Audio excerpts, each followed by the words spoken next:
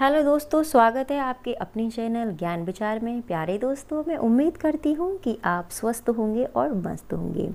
तो प्यारे दोस्तों आज मैं फिर हाजिर हूँ आपके सामने जिसमें कि मैं आज आप आ, आपको अपनी इस वीडियो में बताने वाली हूँ कि आप किसी भी प्रकार की आर्थिक तंगी से जूझ रही हैं यानी कि आप बहुत ज़्यादा मेहनत कर रहे हैं हर तरीके से प्रयास कर रहे हैं कि आपकी आर्थिक तंगी दूर हो जाए लेकिन वो नहीं हो रही है तो उसके लिए मैं एक बहुत ही ज़्यादा अच्छा एक उपाय लेकर आई हूँ और उसमें आपको कुछ भी नहीं करना सादे शब्दों में वो चीज़ें आपकी बहुत जल्दी से संपूर्ण हो जाएँगी और 100 प्रतिशत उसका आपको लाभ प्राप्त होगा। देखिए दोस्तों वीडियो स्टार्ट करने से पहले यहाँ पर मैं आपको एक बात और बताना चाहती हूँ कि मैं अपने चैनल के माध्यम से सिर्फ़ और सिर्फ़ आपकी मदद करना चाहती हूँ। अगर कोई भी मेरा बताया हुआ उपाय आपको आपकी हेल्प करता है या आपकी आर्थिक तंगी दूर करता है तो मेरी ये वीडियो बनाना सफल हो जाएगा। मेरा इस वीडियो को बनाने का माध्यम ये नहीं है कि मैं किसी भी प्रकार का अंधविश्वास आपको फैला रही हूँ। देखिए, विश्वास पर दुनिया टिकी हुई है। इसी प्रकार से हमारे जीवन में कुछ ऐसे उपाय हमारे जो बड़े बूढ़े हैं, जो शास्त्र पढ़ते हैं, जो शास्त्र का अध्ययन करते हैं, उन्होंने इस तरह से कुछ उपाय बताए हुए हैं, जिनको यदि हम सच्चे मन से या विश्वास से अपने जीवन में अपनाते हैं तो निश्चित तौर पर हमें उनसे बहुत ही ज़्यादा बहुत ही ज़्यादा पॉजिटिव फल प्राप्त होते हैं। तो वही एक आ, मैं मैं भी वही एक आ, काम कर रही हूँ कि कुछ ना कुछ ऐसे उपाय मैं आपके लिए लेकर आती हूँ जो कि आपके जीवन में सफल हूँ कारागार हूँ ठीक है?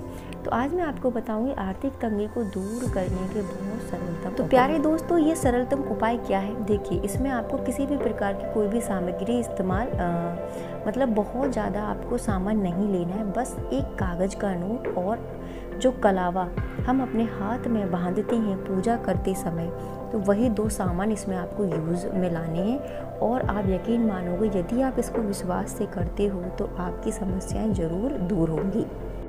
तो चलिए फिर स्टार्ट करते हैं। देखिए, आपको क्या करना है? आप कोई भी कागज़ का नोट ले सकते हैं। कागज़ का नोट आप 10 का 20 का 50 का 100 का 500 का या हज़ार तक कितने का भी ले सकते हैं, ये आपकी इच्छा है।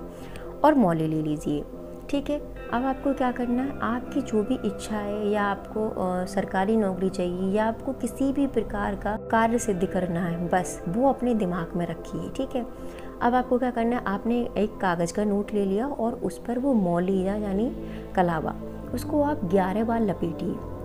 ग्यारह बार लपेटते जाइए और अपनी इच्छा को स्मरण करते जाइए। साथ ही साथ आपको तीन जो हमारे देवी देवता उनका स्मरण करना है। सबसे पहले आप सभी जानते हैं कि बिना गणेश जी के मंत्र उच्चारण या उनके स्मरण के कोई भी कार्य सिद्ध नहीं होता तो आपको गणेश जी का स्मरण करना है। दूसरा, अगर आपको लक्ष्मी या आर्थिक आर्थिक तंगी दूर करनी है, लक्ष्मी प्राप्त करनी है, या आपको, आप चाहते हो कि लक्ष्मी जी की कृपा हमेशा आपके घर पर बना, बनी रहे तो उसके लिए आपको विष्णु जी का भी मंत्र पढ़ना पड़ेगा। ओम वासुदेवाय नमः। क्योंकि बिना वासुदेव की लक्ष्मी जी अधूरी है तो आपको ये भी ध्यान रखना है। तो आपको विष्णु जी का भी मंत्रोच्चारण करना, फिर उसके बाद आपको माँ लक्ष्मी का मंत्रोच्चारण करना है, जो कि मैं आपको बोल रही हूँ।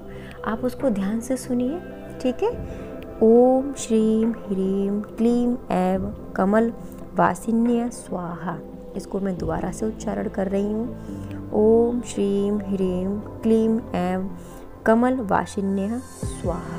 देखिए, ये मंत्र है। इसको उच्चारण करने से पहले माँ लक्ष्मी से क्षमा ज़रूर मांग लीजिएगा। गलत उच्चारण ना हो, सही उच्चारण मंत्र होना चाहिए। और इस तरीके से श्री गणेश विष्णु भगवान और माँ लक्ष्मी के मंत्र का उच्चारण करते हुए जाइए और वो धागा नोट के ऊपर आप लपेटते जाइए ग्यारह बार। जब वो धागा आप लपेट देती हैं, चुपचाप उसको करना क्या है? आपके घर में लक्ष्मी जी की प्रतिमा है, उसके पीछे उसको रख देना है। अब मैं आपको बताती हूँ दिन। दिन कौन सा इस्तेमाल करना है? जी हाँ दिन आपको करना है, शुक्रवार वाला दिन। शुक्रवार को माँ लक्ष्मी का दिन होता है। सबसे अत्यंत शुभ दिन माना जाता है। तो शुक्रवार वाले दिन आप इस पूजा को करें, हर शुक्रवार को करें।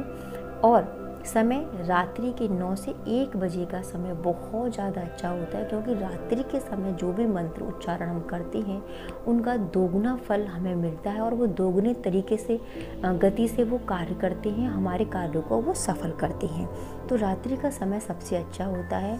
आप अगर कर सकते हैं तो लाल वस्त्र धारण करके ज़रूर करें, इसको तो और ही ज़्यादा उत्तम रहेगा तो इस तरीके से ये पूजा अर्चना आप कर सकते हैं, ठीक है? दिन शुक्रवार, समय आपको नौ से दस, वो सॉरी, नौ से एक बजे तक ये आपको करना है। अब आपको ये कितने दिन करना है, ये भी आप जान लीजिए। देखिए, आपको ऐसा, आप लगातार इसको 40 दिन कर सकते हैं या फिर आप ऐसा 40 शुक्रवार ऐसा आप कर सकते हैं, ठीक है? 40 दिन या फिर 40 शुक्रवार शुक्रवार आप ऐसा कर सकते हैं। देखिए, ऐसा नहीं होगा कि एक बार में ही आपको सारी चीज़ें मिल जाएँ। ठीक है? तो ये क्या होगा? जैसे जैसे हर दिन, जैसे आज आपने पूजा करी, फिर कर मतलब अगले बार, अगले शुक्रवार को आपने करी तो आपको कुछ ना कुछ चमत्कार आपको अपने जीवन में देखने को मिलेंगे। यानी ये मंत्र धीरे धीरे धीरे करके आपकी आर्थिक तंगी को दूर करेगा। इसके अच्छे तरीके से विश्वास से, इसके सोचने मात्र से भी आपको ऐसा लगेगा कि हाँ इसका प्रभाव हो रहा है। लेकिन देखिए, कोई भी आप कार्य कर रहे हो, उसके लिए विश्वास होना बहुत ज़रूरी है। विश्वास नहीं है, मन नहीं है तो आपका कोई भी कार्य सिद्ध नहीं होने वाला। आप चाहे चालीस की जगह अस्सी कर लीजिए, कोई फ़ायदा आपको नहीं मिलेगा। ठीक है? जब भी आप करें, एक नया नोट लें, लेकिन नोट कैसा होना चाहिए? जो आपने पहली बार, जैसे आपने दस का नोट पहले इस्तेमाल किया तो दस का नोट ही दूसरी बार आप इस्तेमाल करें। नोटों की जो गिनती है, वो आप चेंज नहीं करनी है आपको, ठीक है? सिक्के नहीं लेने, सिर्फ़ कागज़ का नोट लेना है। दस का लिया है तो हर बार दस का लें। बीस का लिया है तो हर बार बीस का लें। और उस पर ग्यारह बार आपको मोली को लपेटना है, अपनी इच्छा ज़ाहिर करनी है, लेकिन मन में, और वो आप लक्ष्मी जी की प्रतिमा के पीछे उनको इकट्ठी करती जाइए। तो प्यारे दोस्तों, इस तरीके से 40 दिन आपके संपूर्ण हो जाएँ तो वो 40 नोट जो कागज़ के इकट्ठे होंगे, उन नोटों को आप क्या कर दें, किसी भी मंदिर में दान कर दें, पूजा अर्चना में लगा दें, किसी भी गरीब को दे दें या उसका कुछ भी सामान खरीद के मंदिर में दान कर दें या गरीब को दे दें, ये आपको करना है। हर बार जब भी आप पूजा अर्चना करोगे, इसका फल आपको अपने जीवन में देखने को मिल जाएगा, ठीक है? तो प्यारे दोस्तों, अगर आपको ये मेरी वीडियो अच्छी लगी हो तो प्लीज़ इसको लाइक, शेयर आप ज़रूर करिएगा। मैं नेक्स्ट वीडियो में मिलती हूँ, नेक्स्ट टॉपिक के साथ। तब तक के लिए नमस्कार।